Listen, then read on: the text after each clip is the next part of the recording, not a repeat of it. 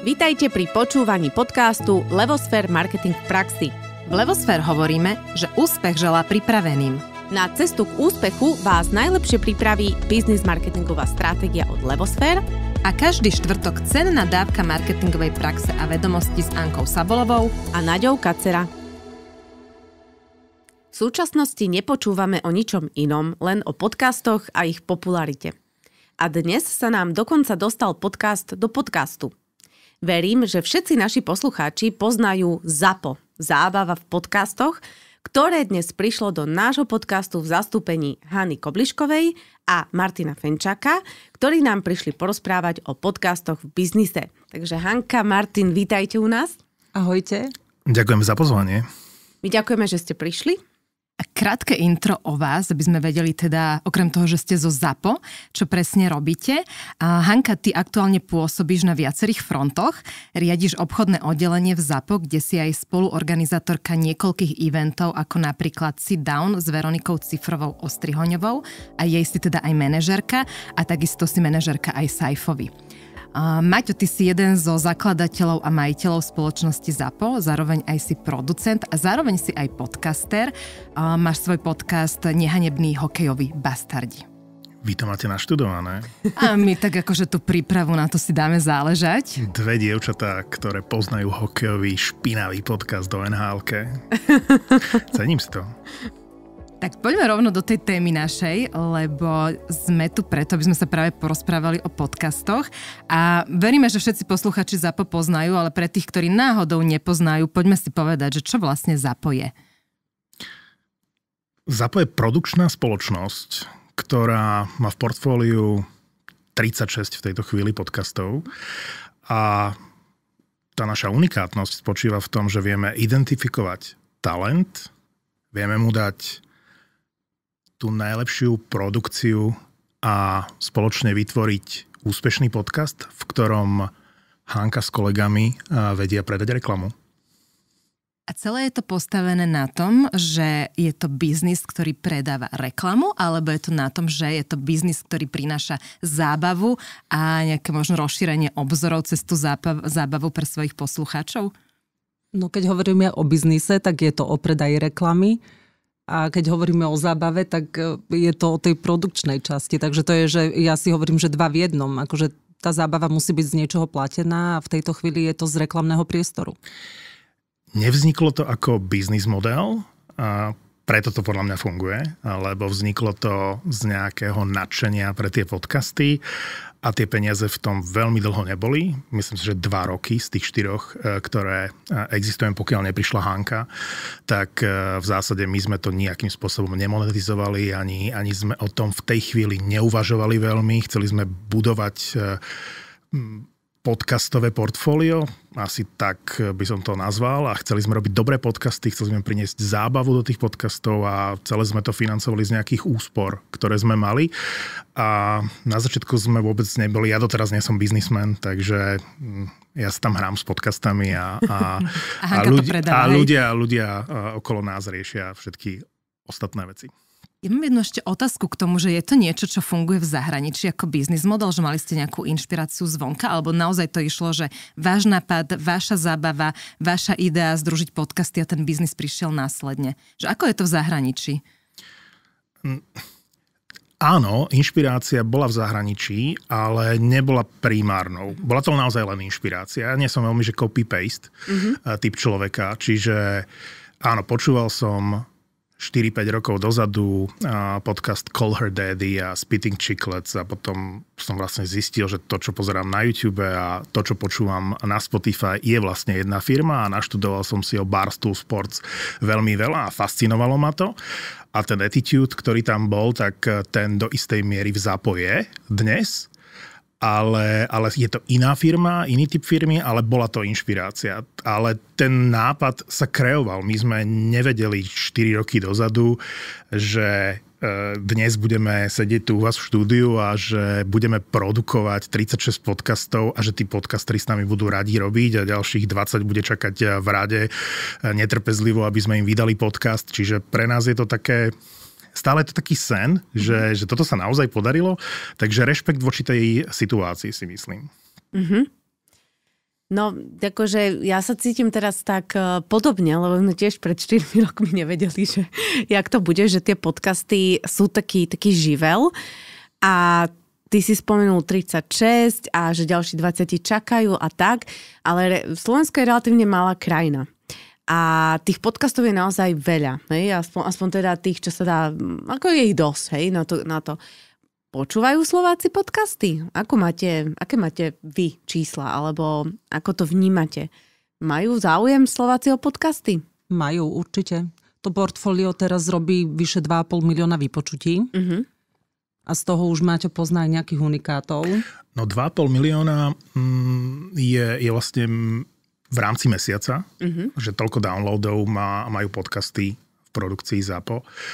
A, a 300 tisíc unikátnych poslucháčov robíme len na Spotify, ale nechceme sa tu nejakým spôsobom chváliť. Stále sú to len čísla. A tie mm-hmm. podcasty sú o, o tom, že majú dušu, že to nemôže byť o kalkule, že my si dnes nemôžeme povedať, že uh, bude tých podcastov 50 alebo ich bude 100 a budú generovať toľko a toľko peňazí keď to stratí tú základnú myšlienku, mm-hmm. že vlastne to robíte s nejakou vášňou a že tomu dávate 120% a že s tým hráte, mm-hmm. tak, tak to úspešné nebude, alebo prestane to byť úspešné. Preto my napríklad v tejto chvíli zháňame investora, alebo teda dohodli sme sa s investičnou platformou Crowdberry na tom, že prostredníctvom svojich investorov sa pokúsime nainvestovať peniaze do ZAPO, aby sme sa mohli vrátiť späť ku koreňom. Mm-hmm. Lebo 36 podcastov na 5 ľudí, ktorí ich produkujú, 4,5 človeka, je veľmi veľa. No a už sa vytráca to, čo, alebo pomaly sa začína vytrácať to, čo na začiatku v zápo bolo, že sme mali veľmi veľa času na to, aby sme sa hrali s jednou epizódou, pokiaľ ju vydáme. Čiže e, nehovorím, že je to v tejto chvíli pásová výroba, to sme nikdy nedopustili, mm-hmm. ale, ale chceme sa vrátiť viac k tým koreňom, aby, mm-hmm. aby sme mali viac času na jednu epizódu, jeden podcast, mohli sa mu viac venovať, aby pre ZAPO mohlo pracovať viac ľudí, pretože my sme v profite ako firma, mm-hmm. ale len na ten počet ľudí, ktorí tam v tejto chvíli nejakým spôsobom pracuje alebo podiela sa na tom, ale ak by sme chceli tých ďalších 20 projektov uviezť do sveta, tak potrebujeme ďalších desiatich ľudí, ktorí na tom budú pracovať a naučiť ich to a, a všetky tieto veci, takže preto hľadáme tú investíciu, ale uh, hovorím, že tie čísla sú fantastické. Na slovenské pomery alebo na pomery toho, čo je v Čechách a na Slovensku sa nám podarilo niečo vybudovať, ale stále uh, vnímame ten trh tak, že sa iba kreuje, buduje a že nejak ho trieštiť, že tuto je Zapo, tuto je Bauer, tuto je Smečko a tak ďalej a hrať sa na nejakú veľkú konkurenciu nie je správne, pretože ktokoľvek prinesie úspešný podcast, môže priniesť nových poslucháčov a tí objavia ďalšie podcasty, lebo stále sme na tretinových číslach v rámci nejakého porovnávania sa s vyspelým podcastovým svetom, čiže s anglosaskými krajinami, škandinávskými krajinami a tak ďalej. Je tu obrovský potenciál. Ďalšie ďalšie 3-4 roky toto bude mm, veľmi, veľmi rásť. Čiže ak mm-hmm. dnes podľa nejakých prieskumov milión Slovákov uh, aspoň vie, čo sú podcasty, alebo počúva viac či menej pravidelne tie podcasty, uh, milión 200 tisíc už v tejto chvíli, tak uh, tak to číslo sa zdvojnásobí. Možno, mm-hmm. možno strojnásobí, ale nejaký limit to má. Hej? Či mm-hmm. to bude nejakých 50% trhu, alebo menej, alebo viac. Určite to má nejaký strop, mm-hmm. ale bude to raz v nasledujúcich rokoch. Mm-hmm. Je niečo, čo robíte ako ZAP preto, aby sa vlastne ľudia dozvedeli o tom, že podcasty existujú a nielen to, že existujú, ale že vôbec ich majú začať počúvať, lebo napríklad čo my veľmi silne vnímame je to, že stále ten YouTube, keď chcem niečo počúvať, niečo vidieť, niečo sa naučiť, je na Slovensku veľmi dominantný a podcasty sú primárne stále o tých mladších ľuďoch, hej, povedzme, že do 40. A tá staršia generácia možno počula, že podcasty existujú, ale nezapne si ich, nepočúva ich, pritom by to pre nich mohol byť neskutočný zdroj informácií. Uh, je dačo, čo robíte preto, aby sa ľudia nielen teda dozvedeli, ale dostali k podcastom a si ich vypočuli, aby narastala tá báza tých poslucháčov? No, podľa mňa je toto zase len o tom, že potrebujeme marketingové oddelenie. Aha. A, za, a máme to šťastie, že nás oslovujú partnery na spolupráce, že sme dnes u vás, že, že na jesem budeme na konferencii, že sme boli pred mesiacom e, na marketing, marketingovej konfere a že môžeme o tom hovoriť a môžeme my, zatiaľ my, čo, čo nás je tých pár ľudí, ktorí s vášňou robíme pre toto prostredie, hovoriť o tom, aké sú podcasty že môžeme byť súčasťou, teraz budeme partnerom veľkého festivalu na Donovaloch, Follow Festival, že sme pri nejakom zrode niečoho, kde majú záujem byť s mediálnymi partnermi, ako sme my a, a zatiaľ, je to, zatiaľ je to v tomto štádiu. O podcastoch samotných hovoríme mm, tým fanúšikom aj v samotných podcastoch, tam to mm-hmm. promo veľmi pekne funguje, mm-hmm. ale tam to funguje v tom prostredí, ktoré e, to, to podcastové prostredie už pozná. Takže to, čo potrebujeme my navyše, tak to je presne to, na čom začíname teraz robiť, na čom nám záleží, aby sme sa dostali aj na iné platformy aby sme tým ľuďom povedali, no je to ťažko za mňa, je ťažko odovzdať niekomu odkaz, toto si zapni. Mm-hmm. Že, že je to také, vieš, svoje že... trošku. Mm-hmm. Mm-hmm. A hlavne asi kto pozera telku alebo kto počúva rádio, v tej chvíli nevie reagovať na to, že zapni si teraz nejaký podcast, keď hovoríme o človeku, ktorý ani nevie cez akú aplikáciu to je, vieš, takže... To bola inak to, ako keby moja otázka, kam som mierila, že či ste zvažovali využiť iné kanály, ako len teda podcastové aplikácie na to, aby ste podcasty šírili ďalej. A napríklad my sme túto debatu veľmi dlho riešili u nás a my sme teda ten YouTube využili a my sme napríklad knihu vydali, aby sme ľuďom, ktorí čítajú knihy, dali vedieť, že podcasty existujú a môžu ísť počúvať podcasty. Že sme sa tak s tým akože snažili hrať, neviem teda, či to niečo prinieslo alebo nie, alebo to je dosť nemerateľné, že koľko ľudí si kúpilo knihu a vďaka tomu začalo počúvať podcasty, ale že ako keby tá cesta, ako dostať to, že podcasty sú a nech ich začnú počúvať akékoľvek, hej, nech len vôbec ako keby dojdu na tú vlnu, je za nás, že cez iné kanály. Tak to som sa vlastne chcela akoby opýtať, že jak nad tým uvažujete.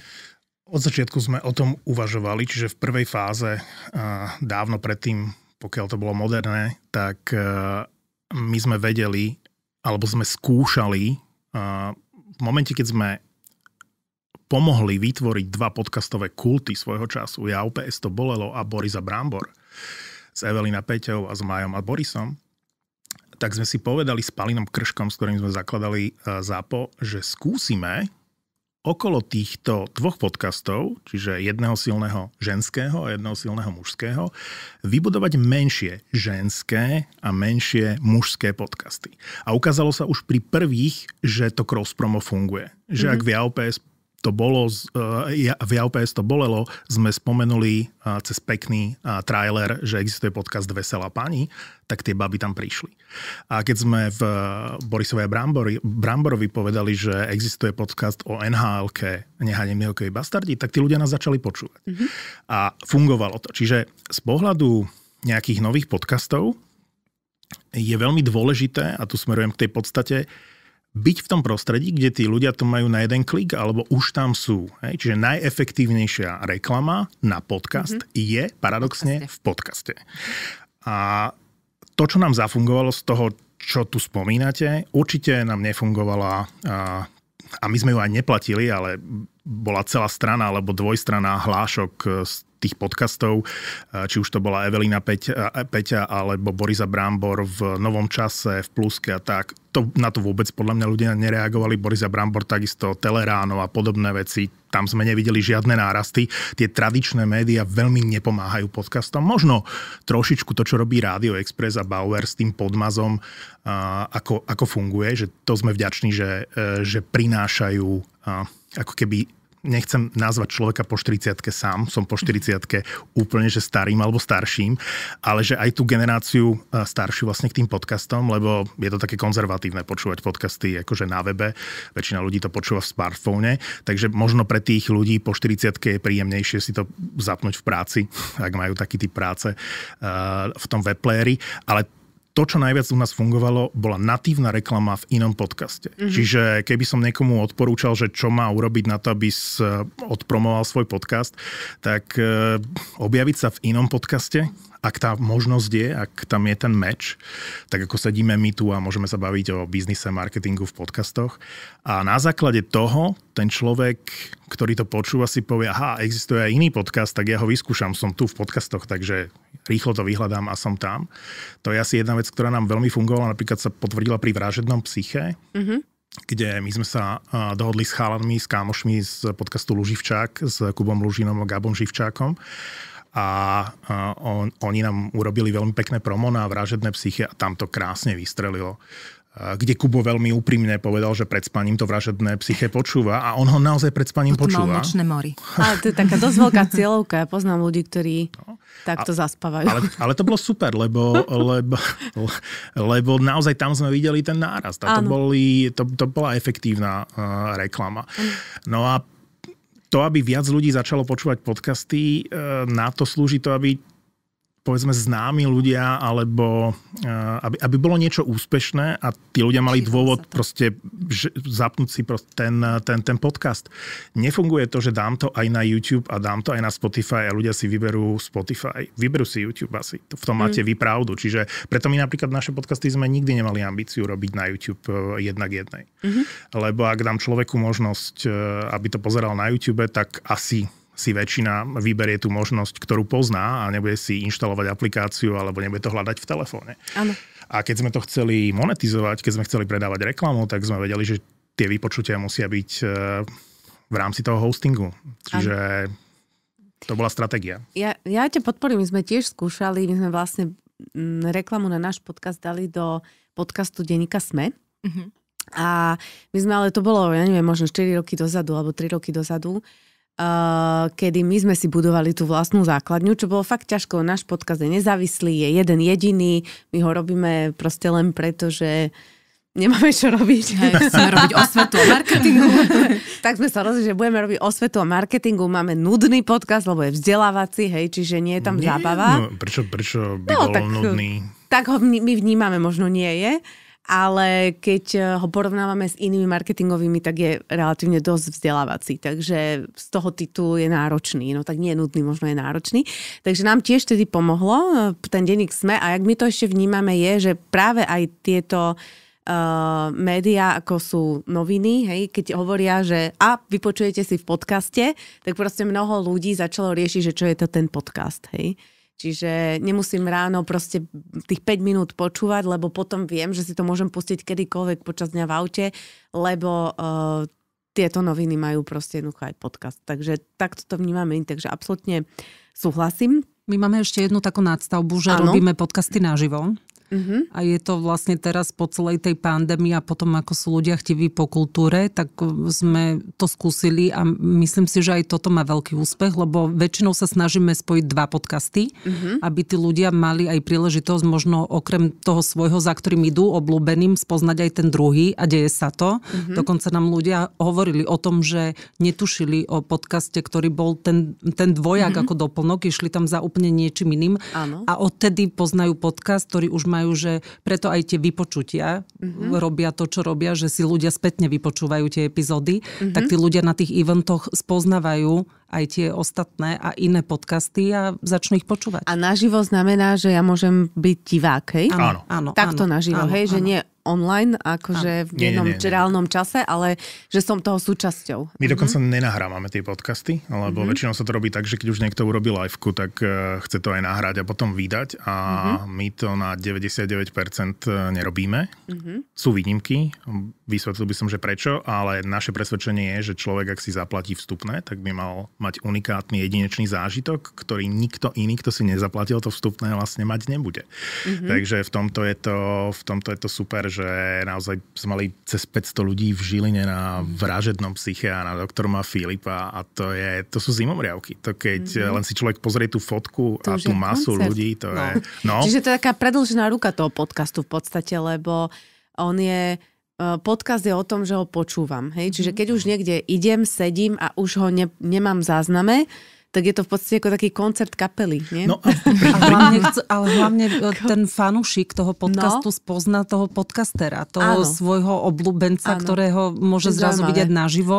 Po predstavení tam ľudia čakajú v šorách, aby sa odfotili s tými ľuďmi a rozprávali sa s nimi, takže je to veľmi kontaktné, osobné a Máte na tento nápad copyright? A nie, Poďme do ulic všetci, poďme do ulic všetci, lebo ľudia to chcú a kultúru chcú a, a keď sa to bude dariť v akomkoľvek meritku, aj my máme 36 podcastov a vieme, že 36 nebude fungovať takto. Áno. Už za tých pár eventov vieme, že niektoré sú silnejšie, niektoré sú slabšie, jeden potiahne, druhý, druhý je nechcem povedať, že do počtu, ale proste e, veľa tých fanúšikov sa spolieha na to, ano. že si to vypočuje a, a bude s tým OK, že nemusí prísť naživo. Ano. Takže len nech sa to deje, len nech ľudia vedia, že sú tu takéto možnosti. Je to, je to forma, ako čiastočne, lebo nebajme sa len ľuďoch, ktorí počujú podcasty, ktorí tam prídu, ale viem si predstaviť, že ak sme v menšom meste a, príde tam Boris Valapík s Majom Gáboríkom a sú to známe mená, tak tam prídu ľudia, ktorí nepočúvajú podcasty. A tí sa možno dozvedia, že Áno. nejaký podcast existuje. Áno. Takže mm-hmm. nechcem si tu teraz nahovárať, že tých ľudí je veľa, alebo že ich je väčšina, to ani náhodou, ale aj to je nejaká osveta, ktorá, ktorá sa robí.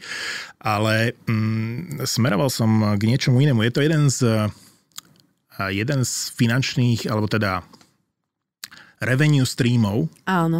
Aj pre mm-hmm. aj pre toho podcastera. Mm-hmm. Vy sa, same dobre viete, že uh, nie je jednoduché získať reklamu do podcastu. Akože my sme, my sme na, na to sme naozaj pyšní, že ako ZAPO sme, myslím si, trochu prelomili lady mm-hmm. a že sme vytvorili prostredie aj pre iných a že, uh, že vďaka tým našim miliónom vypočutí sa s nami začali rozprávať aj ľudia, ktorí rozhodujú o peniazoch, klienti, agentúry, začalo byť to pre nich zaujímavé.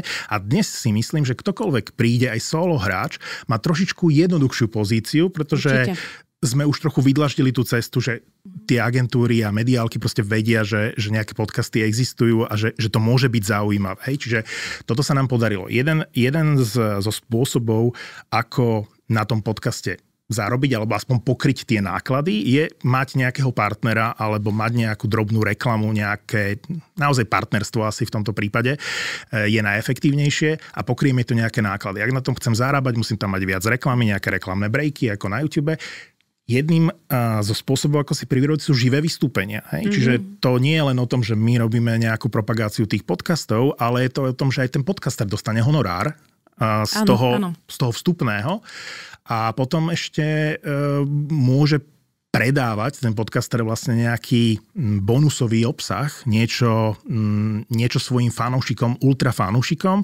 A to ma baví vo voľnom čase, že sa podielam vlastne na aplikácii Toldo a so Saifom a, mm-hmm. a s mhm. ostatnými chalanmi a, sme sa nadchli pre myšlienku, že existuje nejaká aplikácia, kde sú podcasty, a ktoré nie sú len pasívne prehrávané, ale medzi dvomi epizódami môže pribudnúť milión extra kontentu a na jeden klik priamo vlastne v aplikácii môže fanúšik podporiť toho podcastera a subscribenúť si vlastne ten prémiový obsah, ale nájde tam dostatok zábavy aj, ktorá je vlastne, vlastne zadarmo, takže z tohto, z tohto som som momentálne nadšený a mm-hmm. aplikácia Toldo dáva nejaký zmysel aj globálne, aj mimo mm-hmm. Slovenska a Čiech. Robíme na tom a podcasterom sa to veľmi páči. My máme v portfóliu máme nezmyselnú trojicu, teraz štartujeme přímo z kabíny a ďalšie podcasty sa pridávajú, ktoré už sú sú tak ďaleko, že dokážu ponúkať iba prémiový obsah a v podstate Spotify využívajú ostatné playery len na propagáciu toho celého mm-hmm. a sú to už príjmy na úrovni niekoľkých tisícov eur. Hej? Mm-hmm. Ale musíte mať vhodný content, uh, slušnú počúvanosť, aj v prípade mm. nezmyselnej trojici to 20 tisíc akože ultrafanúšikov, ktorých mm. časť vlastne prešla do tej platenej časti v Toldo a tak ďalej. Keby sme vám povedali príklad futbalového váru, to je komunita dnes už 10 tisíc ľudí. Oni začali na zelenej lúke, doslova na futbalovom trávniku a z nuly vybudovali komunitu 10 tisíc ľudí, 10 tisíc ľudí si vypočuje každú ich epizódu a dokázali prepojiť stávku kanceláriu Fortuna s poslucháčmi a s ich podcastom takým spôsobom a aplikáciou Toldo, že to keby sme ukázali v Amerike alebo v Británii alebo v Španielsku, tak by čumeli na to, že čo sa dá spraviť a ako je to win-win-win na všetky tri strany. No. Hanka, ty si vstúpila do ZAPO, aby si vlastne ten obchod podchytila, rozbehla. Čo bola taká obchodná stratégia, alebo ako si sa na to pozerala v tých začiatkoch a ako sa to možno vyvíjalo? Pravdu? Pravdu. No. Žiadna? Intuitívne. Počkaj, ja som nevedela, čo sú podcasty. Mm-hmm. Ja, lebo to celé bolo tak, že ja som nevstúpila do ZAPO, že idem riešiť obchod, ale, ale my sme mali projekt Profil zločinu, ktorý je teraz súčasťou portfólia a je to jeden z veľmi úspešných podcastov Kristiny Kevešovej. A my sme ho mali ako live event, lenže prišla pandémia a tá nám odstavila všetky liveky. Tak sme hľadali riešenia a zrovna na tento projekt moja kamarátka Stánka, s ktorou spolu organizujeme naše akcie, hovorí, že toto by bol perfektný podcast, toto môže tu Kristinu podržať, tá značka je dobrá. E, možno to bude ešte lepšie ako tie liveky, lebo tie liveky s takouto ťažkou témou a, no. a, a s tým všetkým, čomu sa Kristina venuje, sú naozaj náročné, ale robí to perfektne. Takže my sme sa rozhodli kontaktovať zápov vďaka tomu, že táto stánka vyslovila, že, že keď tak, tak oslovme topku, lebo mm. oni majú aj Borisa a Brambora a neviem čo všetko v tej chvíli. Ja, že však dobre, nepoznám podcasty, ale oslovme. tak sme oslovili, chalani nám povedali áno, že sa im to páči, že si to vypočuli, my sme im poslali, mali sme, ja neviem, čo nás osvietilo, že sme mali nejaký záznam z tej liveky, tak neviem, či jednu alebo dve sme ti posielali a to bolo, že sme sa veľmi rýchlo dohodli a, a pred prvým nahrávaním sme sa stretli a, a to máte za to môže. Ty si to vyslovil, či nechcem robiť obchod. Taký som mal pocit. No a ja som povedala, chvíli. že áno, lebo ja som mala taký pocit hneď, ako sme sa rozprávali o tom, že aké sú možnosti a vlastne sme si predostreli tie podmienky toho podcastera a zápo. A, a vlastne z tých podmienok vychádzalo to, že, že ten projekt zarába vtedy, keď je tam reklama. Uh-huh. A ja hovorím, ja už sa vidím, jak tam predávam tú reklamu. Takže takto to vzniklo. to tak prirodzene, hej, ste to cítili vlastne. No, bola tam tá energia od začiatku a ja som pochopil, že asi dospel čas, mne sa, dospel čas, minuli sa mi úspory. To znamená, ja som nemal čas. čoho žiť. Aha. A zrazu tam stála Hanka, vedel som, že sa venuje tejto oblasti a hovorím si, tak sa aj opýtam, že či by to nepredával, lebo sme pochopili s Palinom, uh, už tedy s nami robil aj Milan v podstate, už sme boli traja ako zápo, aj Milan Lieskovský. A, a vlastne sme riešili to, že čo s tým. Boli sme traja chlapi, ktorí riešili uh, úspešné podcasty, ale nejakým spôsobom sme to nevedeli, ani v tej chvíli nemali ešte ambíciu to posúvať ďalej. A do toho prišla Hanka, tak sme sa aj opýtali, či by nechcela.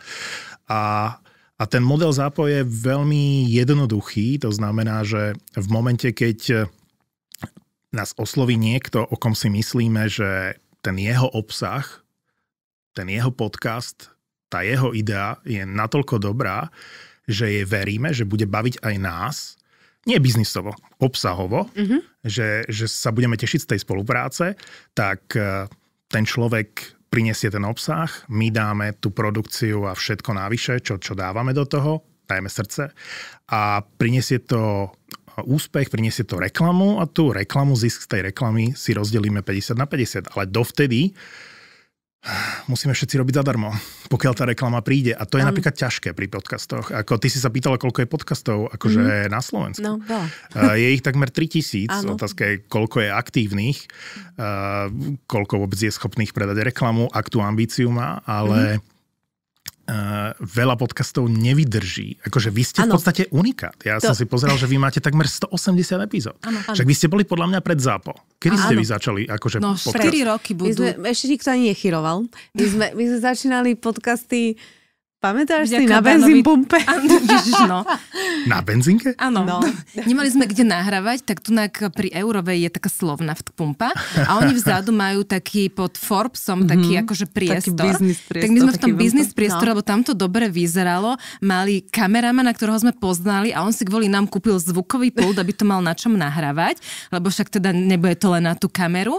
No ale prúster tam bol ten, že tam vedľa bola taká stavba, kde dosť často chodili helikoptery, alebo tam chodili aj vlaky, tak my sme vždy museli, že teraz ste ten vlak, počkali sme, kým vlak prejde a potom sme pokračovali. Takže to boli naše začiatky. No, my sme začali, hej, vlastne no, Dan Tržil, on to začal v Čechách uh, uh, a bola marketingový festival, sa to volalo.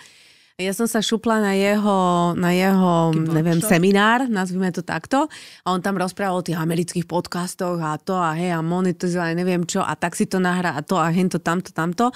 A ja hovorím, Anka, počúvaj, my ideme robiť podcasty. Ale nadchlo ťa to, takže absolútne, to je super. Aké je to obdobie? No. Je to 2018-2019? No tak, nie, no, nie. 4, a teraz 4, bude, no 4 roky už nahrávame, že teraz budeme mať 5. narodeniny. No, takže, takže 2018 no, to musí 2018. byť. Aj tá prvá epizóda, no. čo som kedysi počul a veľmi ma, veľmi ma uh, zaujala ten príbeh uh, Monster vlastne. No, áno, áno, to som ja rozprávala. No, že z tej no. Ameriky, o tých no. 60-ročných no, pánoch. Áno. A to napríklad, vie, či žijú. a napríklad e, mňa vôbec neotravovala tá hm, To Vy vzdela- hovoríte, že nekvalita toho zvuku, akože bolo cítiť, že No. je to v iných podmienkach ako teraz Áno. v tých štúdiových, ale ten obsah a tá energia medzi vami to fungovalo. Čiže ja vždy hovorím, že dôležitejší je obsah a ten storytelling alebo schopnosť toho storytellingu ako kvalita toho zvuku. Darmo bude mať najkvalitnejší zvuk, povedzme v tomto nádhernom štúdiu, ak to, čo my tu štyria rozprávame, bude stáť... Zaprd. Ďakujem, že si to povedal za mňa. Dobre, ešte otázka taká praktická, že mám dve praktické, ale vyberiem si tú prvú a potom môžeme položiť tú druhú. Je slovenský poslucháč pripravený platiť za obsah? Hej, to ma napadlo pri tom Toldo, hej, Mhm. že v podstate jedna vec je reklama, to, to platia zadávateľia, Firmy? hej, teda Áno. firmy. Značky, to mi je jasné, to je asi viacerým jasné. A rastie to, rastie to. Krá- rastie, ja som- ale že no. či aj poslucháč je ochotný. Áno. Áno. Čiže Ale- už sme sa tam dostali, hej, na dostali Slovensku. Sme sa, dostali sme sa tam. Ešte Mhm. stále to nie je... Nemyslím si, že to najbližší rok, dva bude také, že sa dá na tom celý biznis model postaviť. Hej? Lebo Mhm. svojho času som uvažoval na tom a bavili sme sa s chalanmi a s dievčatami, že, že by sme to zamkli. Hej? Že, že máme vybudované Mhm. pekné portfólio, sú tam úspešné podcasty a že keď sa dohodneme s podcastermi, že to zatvoríme Mhm. a pol roka na to budeme poslucháčov pripravovať a celé zápo bude vlastne zabránov ako Netflix, lebo od prvého momentu našim snom bolo vytvoriť vlastne audio Netflix Mhm. a stále je nejak, akože tých exitových stratégií je, je viacero, asi tri také základné, ale tá, tá myšlienka je vlastne audio Netflix a raz ten moment príde, že, že niekto bude mať veľmi veľa kvalitného obsahu, my na tom pracujeme a bude to vedieť zamknúť ako Netflix. A bude len zneužívať Spotify a ostatné platformy na reklamu a promo Áno. a na to. A to, to sa snažíme vlastne otestovať v aplikácii Toldo. A Toldo funguje nad moje Očakávania? alebo naše očakávania. Že v tejto chvíli nás už ako keby ani Slovensko až tak veľmi uh, nezaujíma, lebo vidíme, že to funguje a tí podcastery o to majú záujem, ale skôr chceme potvrdiť uh, to, čo sa podarilo tu v rámci subscription v zahraničí, že na väčšom trhu, na niekoľkonásobne väčšom trhu a pracujeme na tom a ak sa to potvrdí, tak to môže byť globálne úspešné. Uh, áno, chcete konkrétne čísla, tak vám dám akékoľvek konkrétne číslo. Dnes už naozaj uh, podcasty dokážu vygenerovať tisíc subscriberov uh, za 4 eurá uh, mesačne. Nehovorím, že jednoducho, Mhm. ale ak sú úspešné tie podcasty v tom tradičnom podcastovom svete, ktorý je Áno. free v Áno. aplikáciách, tak dokážu v Toldo v niekoľkých stovkách premeniť tých poslucháčov Mhm. a, na, na platiacich poslucháčov. A ktorí platia nie za, len za tie epizódy, ale dokážu platiť za ten obsah, ktorý je medzi tými dvomi epizódami. Čiže za len ten extra obsah a za to, že sa tam pridáva niečo prostredníctvom uh, tých podcasterov celý týždeň. Nie len, nie, nemusím čakať týždeň na ďalšiu epizódu. No. No a Mala si potom mám tú druhú druhú otázku? praktickú, tak No. môžem? No jasne. Anka, dovolíš mi? Dobre, uh, druhá bola, že na základe tých skúseností, ktoré teda Martin má a aj Hanka, uh, dá sa povedať dnes, že aké sú vlastnosti úspešného podcastu? Lebo ako sú okolo nás uh, mnohé iniciatívy, aj nás sa to veľa ľudí pýta práve preto, že fakt, že už robíme 5. rok tie podcasty, je ich veľa, že čo, e, čo sme sa my naučili, že, že či majú ísť do nového podcastu, či to je toto. A my stále hovoríme dve veci. Prvá je, že keď sa preto rozhodnem, mám sa pripraviť na dlhodobosť a pravidelnosť. Hej? Že to je to, čo nás to naučilo. Hej? Čiže v podstate, ak, ak, ak chcem, aby ten podcast bol raz značka, a niečo znamenal, tak proste to nemôžem robiť pol roka a nemôžem robiť jednu epizódu za, neviem, Dva mesiace. kedy mi napadne, Absolútna ale pravda. proste pravidelne. Hej, to, že a tá trpezlivosť a tá, a tá pripravenosť, eh, že nemyslíme si, že úplne nepripravené podcasty sú úspešné, že je fajn, keď sú aspoň čiastočne pripravené. Ako česť tým, ktorí majú v sebe humor a tak ďalej, že dokážu robiť také tie akože teraz ten situačný humor a tak ďalej, ale aj tak ten podcast production musí byť pripravený. To sú také veci naše. Čo vy ste zistili? Že podcast, že úspešné, podcast je príbeh kompetentného jednorožca. No ale v tej, raz, v tej, príbeh kompet- príbeh kompetentného No, jednorožca. jednorožca, To mhm. rozlišuje úspešný podcast Mhm. od eh, toho menej úspešného alebo neúspešného. Mhm, No, čo potrebuje podcast? Potrebuje eh, príbehovosť. mhm. Príbehy. Ako nemusíme sa tu zhodnúť a s mnohými ľuďmi sa nezhodnem, ale som presvedčený, my v ZAPO sme presvedčení, mm-hmm. že ľudia majú iba dva dôvody, prečo si zapínajú podcasty. Mm-hmm. Jedným dôvodom je, že chcú vedieť, čo sa stalo, chcú news on demand. Mm-hmm. Dobre to, že dobré ráno, news filter a tak ďalej. Hej? Akože mm-hmm. chcem počúvať správy a chcem počuť uh, rozhovor, publicistiku z, z tohto prostredia vtedy, keď ja môžem a keď ja chcem v aute, pri behu, v posilke, pri kočikovaní, neviem, pri domácich prácach, pri varení. Nie vtedy, keď je to v rádiu alebo v telke. Tie časy, že počúvam správy o 7 ráno v rádiu alebo o 7 večer ich sledujem v telke, sú dávno preč. Podľa dávno. dávno preč. Akože, uh, takže on demand to je akože v rámci news a druhá, tá obrovská skupina a celosvetovo je to uh, ten najžiadanejší žáner, je to zábava, entertainment. Ten človek si zapína podcast presne s tým istým pocitom, ako si zapína Netflix alebo Disney Plus, alebo si púšťa pesničku, alebo si kúpi novú knihu a, a, a chce si ju prečítať. Chce, aby, aby si oddychol, aby zrelaxoval, aby sa niečo popri tom dozvedel, lebo tá zábava alebo tá zábavnosť, tá atraktivita v kombinácii s hodnotným obsahom je tá vražedná kombinácia. Mm-hmm. Niečo sa dozviem a zároveň mám dobrý pocit z toho. Mm-hmm. Uh, takže to sú dva dôvody. Ako je veľmi malinká skupina ľudí, to je asi podľa mňa ten tretí dôvod, že sa chcú vzdelávať, ale aj tak si tí ľudia vyberú ten entertainment, mm-hmm. ak je tam to vzdelávanie. Nevyberú si iba vzdelávanie. Mm-hmm. Čiže je, to sú tie dva základné dôvody, uh, že prečo ten človek si púšťa aj podcast, okrem iného. Mm-hmm.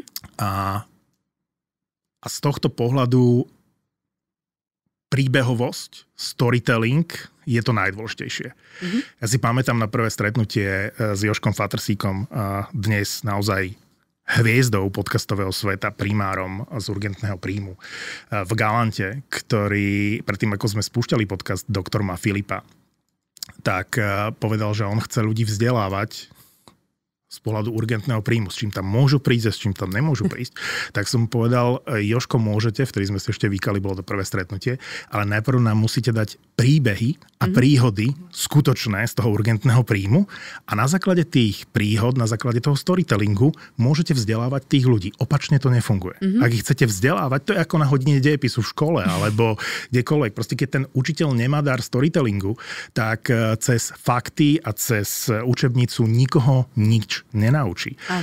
Takže, takže to, je, to je ten storytelling, kompetencia mm-hmm. je veľmi, veľmi dôležitá. A čiže aby darmo... rozprával o tom, čo, čo vie. No áno, tá kompetencia tá kompetencia je asi najdôležitejšia, lebo podcast ani nemôže mať človek, ktorý nie je v niečom dobrý, v tej téme sa neorientuje. A jedno, či je to fanúšikovská kompetencia, čiže len sa o to veľmi zaujímam viac ako ostatní ľudia, alebo je to profesionálna kompetencia, to znamená som lekár a mám, prost, e, mám podcast lekárskeho prostredia, alebo som pilot a mm. rozprávam sa s letuškami a stevardmi a, a pilotmi a obslužným personálom.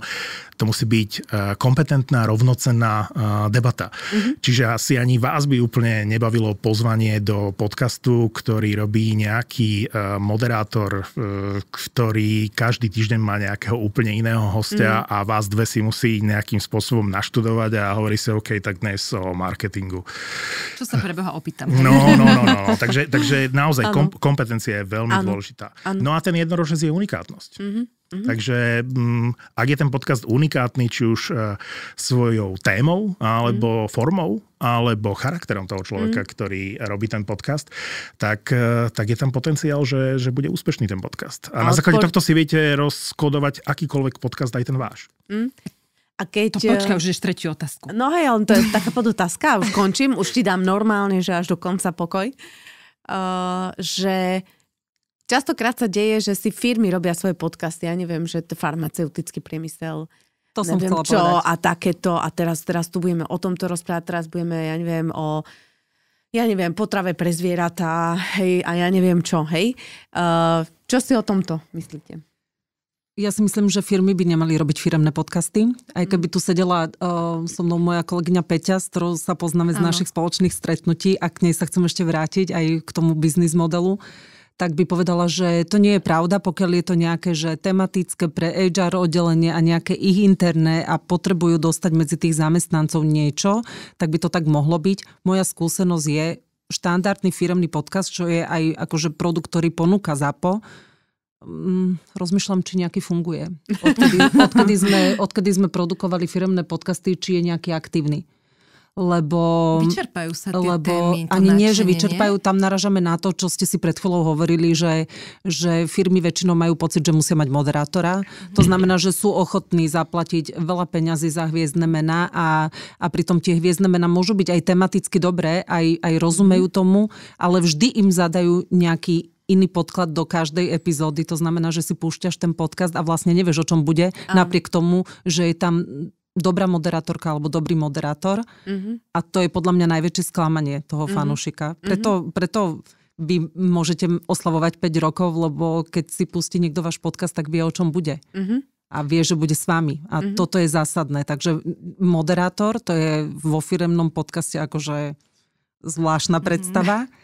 Okay. A, a ja, ja hovorím, že poďme najprv s tou firmou zvážiť, pozrieť sa na to portfólio a povedať si, ktorá téma vám je blízka, kde si viete predstaviť to, že ten podcast by bol váš ale váš znamená, že vy tam budete niekde podprahovo ako partner, že tam budeme dávať niečo, čo môže byť pre vás zaujímavé, kreatívne a natívne a tí mhm. ľudia si vás budú pozitívne spájať s tým produktom alebo s tým podcastom alebo s tým podcasterom samotným. Ano. My tieto veci riešime aj s tými ľuďmi, samozrejme musia byť s tým stotožnení, či ja. so značkou, v konečnom dôsledku aj s majiteľom tej firmy alebo čokoľvek, s produktom, mm-hmm. môžu povedať aj nie ale podľa mňa toto je cesta firmného podcastu, spájať sa s niečím úspešným, alebo nechať voľnú producentskú ruku tým, čo sa tomu rozumejú a chcú mať ten strich, ktorý tí chalani v ZAPO a spraviť podcast, ktorý nenesie názov tej firmy, ale nesie názov témy, ktorá môže tú firmu sprevádzať počas celej sezóny. Áno. Ja sa, Hani, k tomu vrátim, lebo ja si pamätám ten príbeh Českej mincovne, ktorý si nám rozprávala, podľa mňa veľmi pekný, aby zaznel.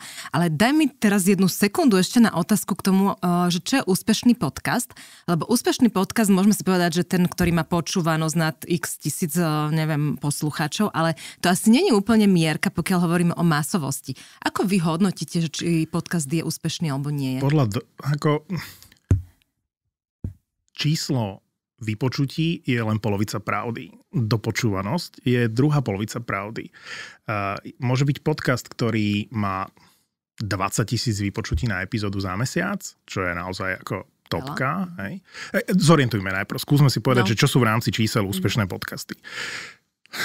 40 tisíc plus na epizódu má uh, denník ZME s dobrým ránom. Hej. To je nejaký benchmark. Áno.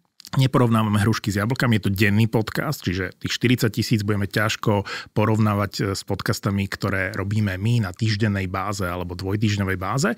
Ale ak sa bavíme o vypočutiach na epizódu za 30 dní, tak napríklad dnes už vražedné psyché má 60 tisíc na epizódu za 30 dní. E, podobne sú na tom Evelyn a Peťa.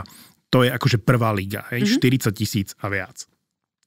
Potom e, máme, že absolútne topky, to je niekde medzi 20 tisíc a 40 tisíc a to by sme spočítali na prstoch dvoch rúk, koľko takých podcastov na Slovensku je. Áno. Aj to je, to je neskutočne ťažké sa tam dostať.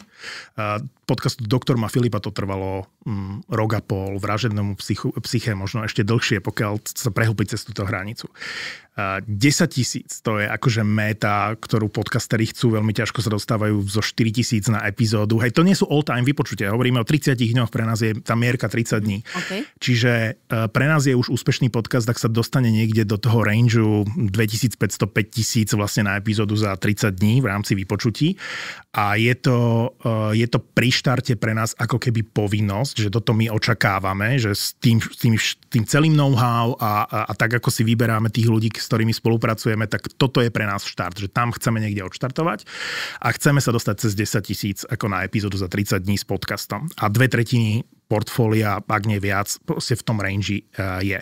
A teraz jedna, uh, jedna časť pravdy sú tie vypočutia. Na druhej strane uh, z pohľadu aj reklamy je veľmi dôležité, aby to bolo dopočúvané, aby tam nebola dopočúvanosť 50%. My dnes dokážeme robiť od začiatku vždy vďaka tomu, v čom je zápos silné a to je dramaturgia, vnútorná dynamika, úplne iný prístup k tým podcastom. Aj tá postprodukcia trvá niekoľkonásobne dlhšie ako samotné nahrávanie. Hej.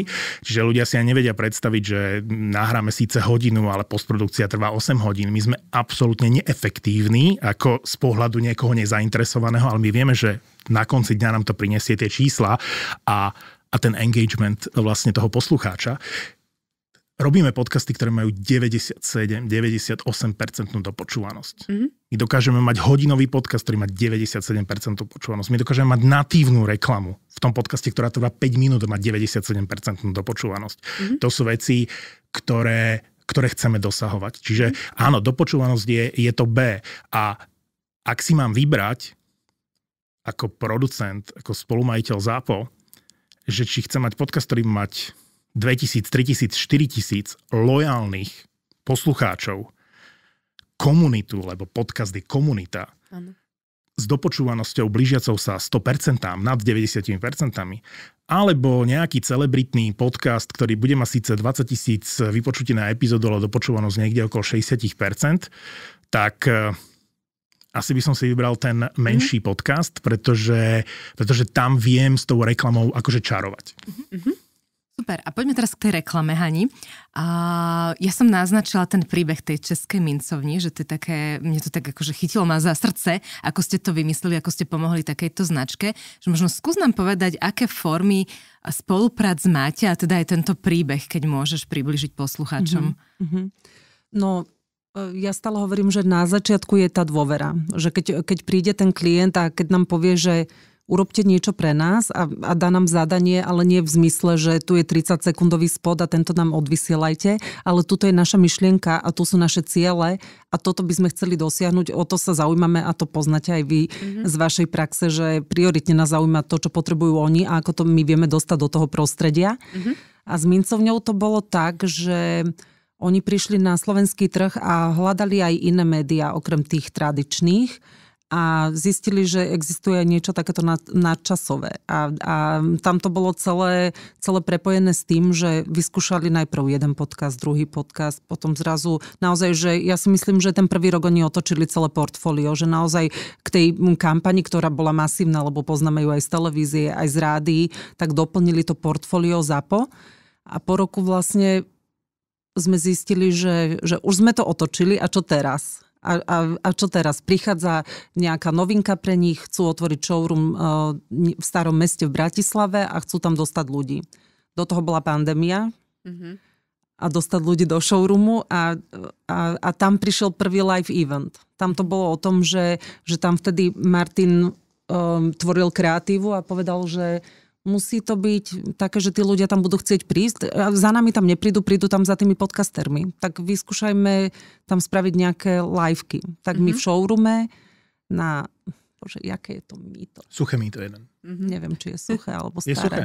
Áno, suché, suché alebo staré. No, jedno suché. z toho bude, je to NASA tak my v tej mincovni, uh, myslím si, že boli vtedy ešte aj tie rúška, ale mohla sa diať kultúra do nejakého počtu, čo nám úplne vyhovovalo, lebo mm-hmm. v tom mhm. showroome sme otočili nejakých 20 stoličiek prišli ľudia z Tatier, aby videli vražedné psyche naživo a videli a zažili a, a pozvali sme tam aj podcasterov, aby, aby prišli trošku aj oni medzi ľudí, aby sa stretli, aby sa spoznali, lebo oni si mnohí podávajú iba kľúčky na tých štúdiách a mm-hmm. vidia sa raz za uhorský rok, niektorí aj vôbec. Mm-hmm. Dokonca sa mi zdá, že prvýkrát uh, jeden event naživo bol taký, že spojil celé vražedné psyché na jednom pódiu, že sa prvýkrát stretli naživo a všetci naraz lebo tá produkcia to proste má tak zmanéžované a dokonale zladené, že oni si to nahrávajú individuálne.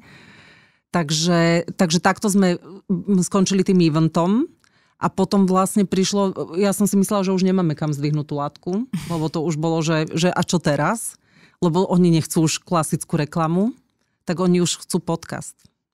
A z firmného podcastu je to, že oni pochopili, že oni nepotrebujú mať podcast Česká mincovňa e, o neviem čom, minciach, ale oni potrebujú niečo, čo sa s tým môže spájať. Obsahovo. Tak, obsahovo. No. Tak je to podcast Tak bolo. dejepisný, historický, ktorý sa vie tým obsahom prispôsobiť a ktorý sa vie nastaviť pekne tematicky a, a zrazu je to v portfóliu. A dnes večer sa možno vidíme aj s vami na live evente. Sme dostali pozvanky, ďakujeme. A ja zrovna nemôžem, a Naďka tuším tiež nie, ale na budúce radi prídeme. Tak my vám povieme, tak nám bolo. pošlite, prosím vás, dobre?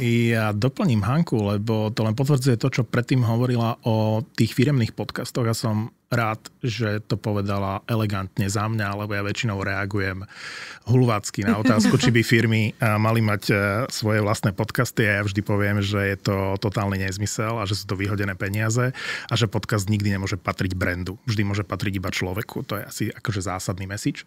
Ale pri tej českej mincovni, e, že ja som vtedy už dlho počúval podcast Tak bolo ja počúvam všetky podcasty, ako všetko, čo je nové a tento podcast ma veľmi zaujal. A v momente, keď sme uvažovali na to českou mincovňou, tak e, sme urobili veľkú výnimku, že máme to šťastie a berieme to ako dar, že vďaka tomu, ako kvalitne robíme a tie podcasty sú úspešné a obľúbené, tak ľudia sa nám sami hlásia a nejak nás poznávajú, že chceli by sme s vami robiť. Čiže my nehajrujeme, my nemáme čo ani tým ľuďom ponúknuť, ako v tejto chvíli už áno, ale na začiatku sme ani nemali.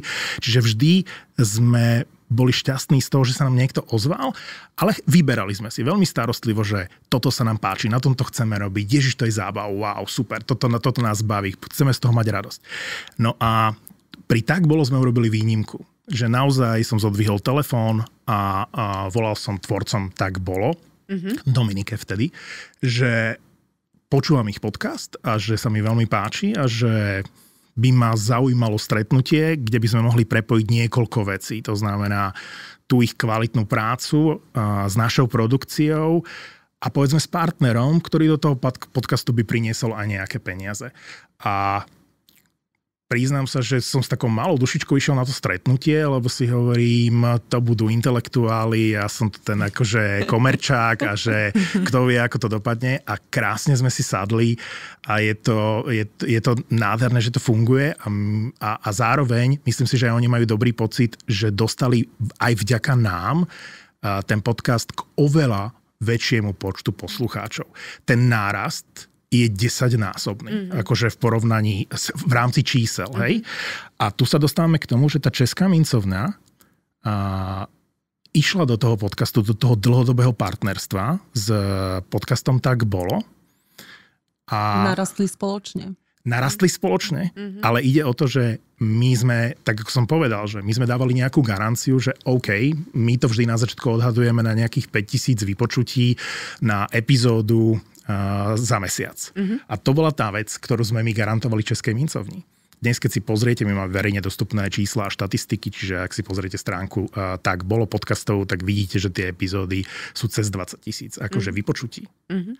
A to je to, že keď ten klient pochopí to čaro nenásilného prepojenia sa s podcastom, ktorý tematicky obsahovo s jeho biznisom súvisí, nechá nám voľnú ruku, dôveruje nám, my to urobíme nadštandardne, pretože si vážime to dlhodobé partnerstvo, tak to môže krásne narásť na všetkých frontoch. To pomohlo opäť všetkým trom stranám. Podcastu, ZAPu a Českej mincovni. Mm-hmm. Tešíme sa z takej spolupráce. To je taká tá ideálna spolupráca, čo chcem povedať, kedy firmy vlastne vedia z toho vyťažiť maximum a možno je to aj na konci dňa síce drahšie na pohľad, ale prinesie im to o mnoho, o mnoho viacej ako nejaké jednorázové reklamy v podcastoch. No z pohľadu toho, ako to teraz narastlo, tak je to, že veľmi výhodná investícia, mm-hmm. vieš, lebo tá cena bola nastavená na tie naše minimálne odhady a na to, za čo sa prekrie ten náklad mm-hmm, a, a zarobia aj podcastery. Takže, takže oni narastli číselne a teraz vlastne veľmi lacno kupujú ten priestor. Ale to je, to je pri všetkom. My vždy hovoríme uh, tým klientom, nechcem hovoriť za Hanku, ale že, že pri tých novinkách je niekedy veľmi dobre sa s tým spojiť, mm-hmm. pretože potom, keď to niekto chytí, už tá šanca nie je. My to vidíme pri stávkových kanceláriách, mm-hmm. že ako náhle si Fortuna podchytila hokejový futbalový podcast, ktorý máme, tak je veľmi ťažké vytvoriť priestor pre inú stávkovú kanceláriu a, a pritom to má Fortuna za super ceny, lebo bola na začiatku verila tým projektom, hej, akože začali, začali s nami spolupracovať v momente, keď tá počúvanosť ani zďaleka nebola takáto. VAR mal vtedy ledva 4000 vypočutí na epizódu, keď Fortuna s nimi začala začala a dnes sú na desiatich tisícoch a proste robia úplne iné veci, ktoré, ktoré sú nad rámec tej základnej spolupráce, lebo to funguje. Ja si pamätám, že sme štartovali podcast, e, tu sa bavíme o tom, že existuje niekoľko podcastov z prostredia domácich miláčikov, hej, či je to Zverisimo, alebo proste ďalšie podcasty, ktoré robia firmy, a tu je, tu, tu je príklad toho, že keby sme si pozreli tú počúvanosť tých podcastov versus zveromachrov dvoch veterinárov, ktorí nás oslovili a povedali sme si, wow, to sú super típci, tak akože poďte niečo nahrať, nahrali demo a ja hovorím, OK, vyhodíme prvých 30 minút, lebo to je nuda, ale zvyšok je úplná paráda.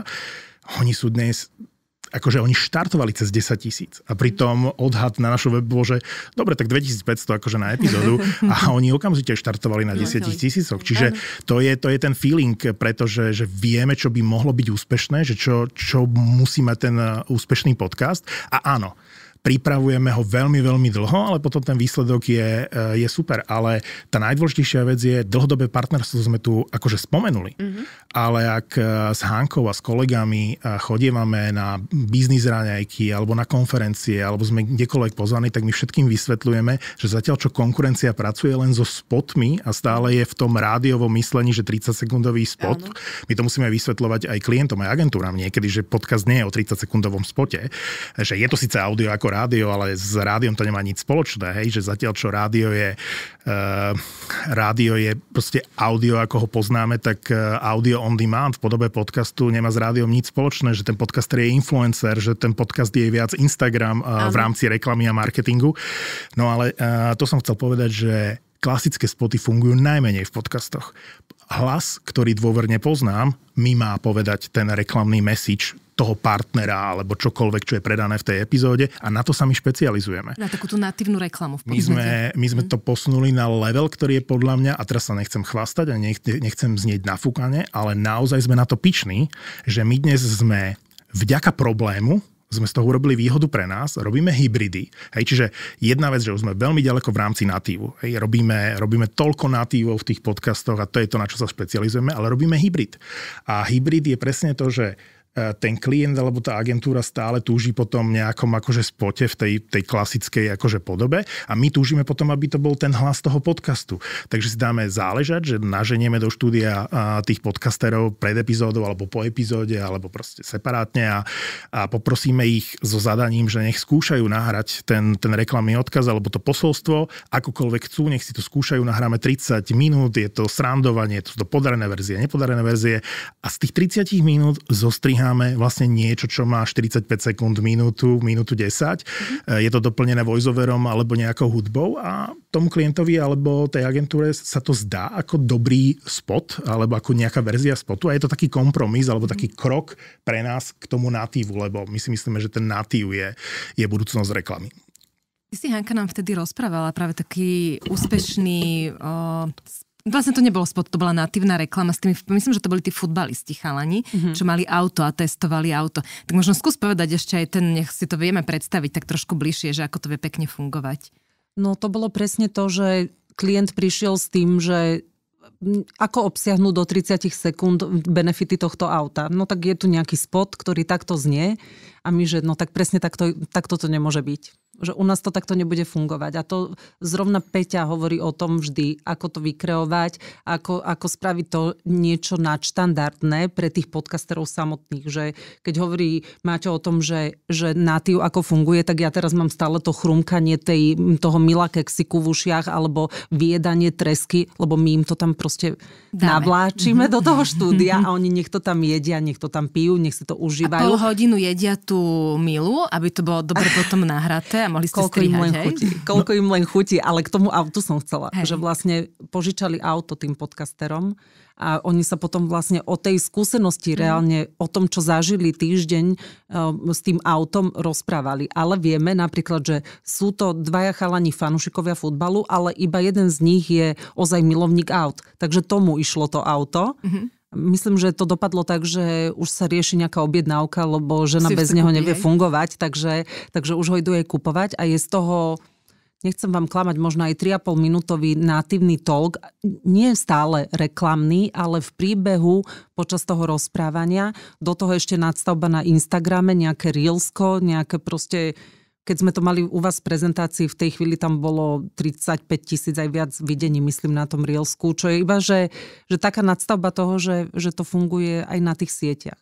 Mm-hmm. A vôbec sa neprizeráme na to, že či je to 30 sekúnd, 3,5 minúty, je to proste nejaký odkaz, na ktorom nám záleží a má dopočúvanosť 97%. A aj reklama v podcaste musí mať príbeh. To je mm-hmm. ten rozdiel medzi, medzi tou klasickou skratkovitou reklamou, kde musia... V rádiu. v rádiu, lebo tí copywriteri sa musia zmestiť do 30 sekúnd a tá živočíšnosť, tá autenticita z toho odchádza, ten storytelling z toho musí odísť, pretože to potrebujem skratke akože urobiť a, a tá reklama v rádiu kričí a huláka, aby prekričila všetko, prekričila všetko ostatné. A preto Rek... funguje, však zase Áno, viem, že ja preto, nehovorím, že preto ten, len... ten kanál funguje a my to chceme robiť tak, aby fungoval ten náš kanál. Presne.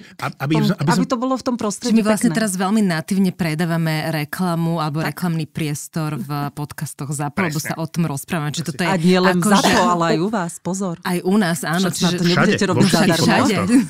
A my síce hovoríme o tom, ako to funguje v ZAPO, lebo my sme boli radi, keby fungoval celý trh, lebo to, o čo sa snažíme od začiatku, je vybudovať podcastové prostredie, pričiniť sa o to, že že tie podcasty budú obľúbené vo všeobecnosti. Mm-hmm. Lebo my keď sme vstupovali ako ZAPO do toho prostredia, tak pretože sme chceli priniesť zábavu. Poznali sme tie podcasty proste zo zahraničných trhov, špeciálne z USA mm-hmm. a hovoríme si, ale ja to chcem počúvať v Slovenčine, e, poťažmo v češtine, ale v Slovenčine. A že nie sú zábavné podcasty na Slovensku, že vtedy tam boli akože spravodajské už na relatívne vysokej úrovni, lebo však tá prvá podcastová revolúcia to bolo Smečko a Dobré ráno, mm-hmm. akože vďaka ním a chvála Bohu, ano, vôbec ano, sa tie podcasty podcasty rozbehli.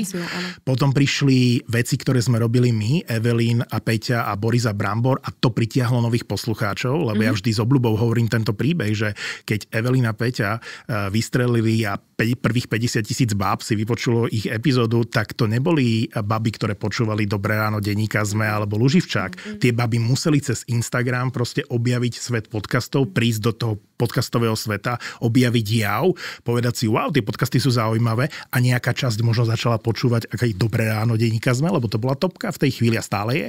Čiže toto potrebujem, aby vznikali nové podcasty, bez ohľadu úspešné podcasty, eh, možno aj s veľkými menami samozrejme, kde tí ľudia to iba objavia a je úplne jedno, kto to vyprodukuje. Mm-hmm. Ide o to, aby prišli poslucháči do toho podcastového sveta a oni prídu, pretože ten trend v Amerike za posledných 5, 6, 7 rokov, to sú neskutočné nárasty. A áno, trošičku to stagnuje na tých najvyspelejších trhoch, že už sú nárasty len 20-percentné a nie 150-percentné, ale stále eh, je to veľmi zaujímavé a na Slovensku nás to ešte iba čaká, keď som hovoril o tom strojnásobení tých čísel, ale vrátim sa len na moment k tej reklame, že ja som to naznačil s, tým, eh, s tými sociálnymi sieťami, že podcast je viac Instagram a, a, a ako rádio a že podcaster je viac influencer ako moderátor, tak vlastne toto, o čom tu Hanka hovorila, je presne ten príklad, že, že ako to funguje. Naša rada znie, dostaňte produkt alebo službu do života toho podcastera, v ideálnom prípade na dlhšie obdobie a dajte mu slobodu, aby o tom v každom podcaste rozprával tak, ako to cíti. A neriešte, či je to 10 sekúnd, alebo je to, sú to 3 minúty, nechajte ho, nech žije tou vecou. A ani reklama v podcaste podľa mňa by nemala znieť tak, ako znie v tradičných médiách, že toto si kúpte, alebo toto je najlepšie, ja vám to odporúčam.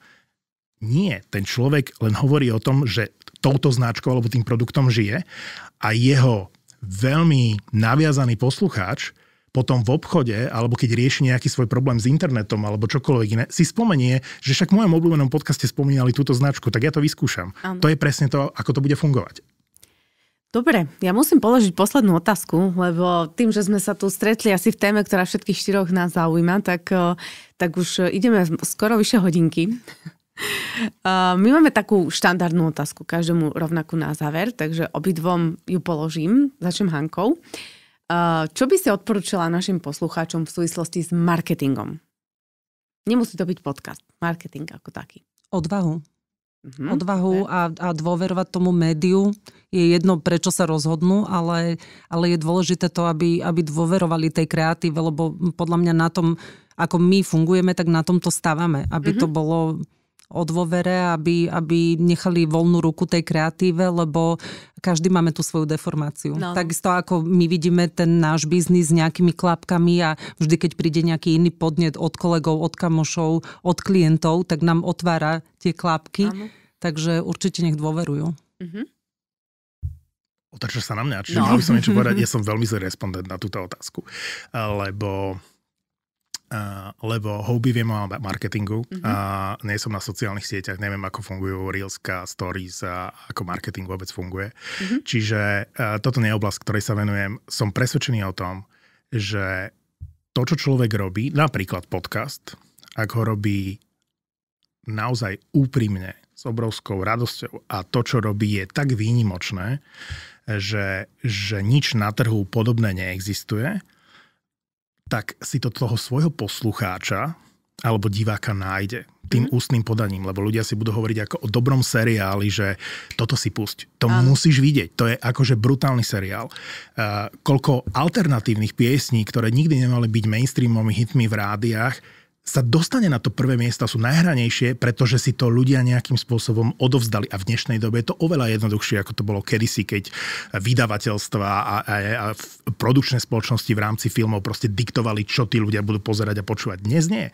Dnes je krásny príklad toho TikToku, že piesen, že TikTok určuje, čo tie rádia akože v zásade budú hrať, hej? ako keď to mám takto povedať. Čiže ja hovorím, robiť s presvedčením a s láskou to, čo milujem a ono si to toho človeka nájde.